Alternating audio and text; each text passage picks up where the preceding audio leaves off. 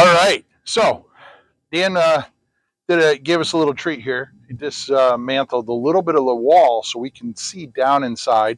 You know, we talked about it earlier that the core has these braces in there, but these braces have these little scallops and hooks in them, right, Dan? So tell us what those are all about. Yep. So uh, we have on the outside we have uh, room for a number five bar. So we typically use those.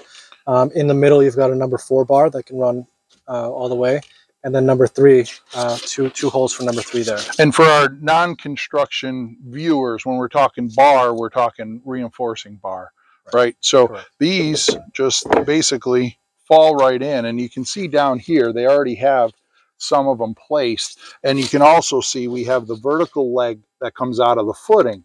So the concrete will go down there, grab that, and that keeps that horizontal displacement of the wall sturdy. And then these horizontal bars basically will get tied to some vertical bars in here also. So we basically have this steel cage that's happening inside here. Now, that takes care of the structural requirements that the structural engineer gave us.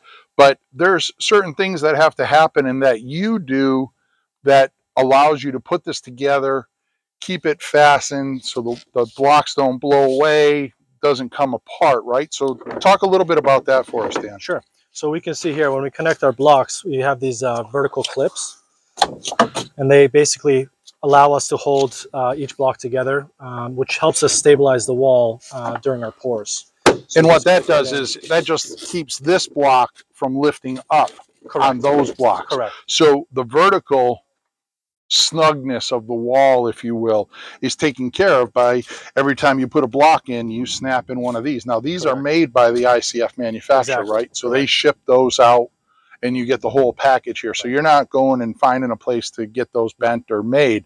Now, what do you, is there anything that we do when the blocks come together horizontally? Yes, there's a clip right here, as you can see.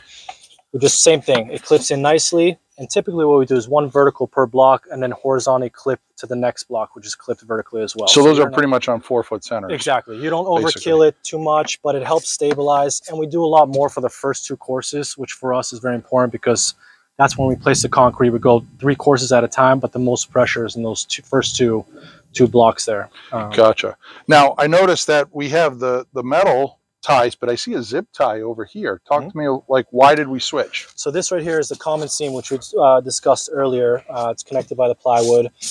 Corners, we work from our corners to the to one area. Uh, we choose to do it closer to the corner so we can put one brace here and another staggered. And then basically what we do is this is too big for the vertical clip.